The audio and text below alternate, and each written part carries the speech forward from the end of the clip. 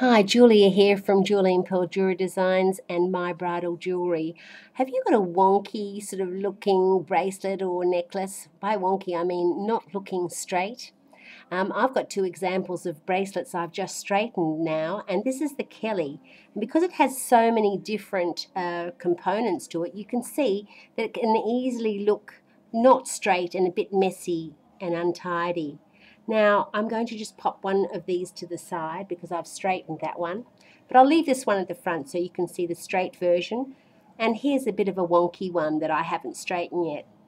It's very easy to do this. First of all, what you need is a, a rubberized base or mat to work on. This stops all your pearls from running on the floor or, you know, uh, it just keeps them in place and it's very easy to work with. So what you would do if you want to straighten your bracelet or a necklace is gently put it onto your mat like so and then place your fingers over the top and roll gently back and forth, back and forth.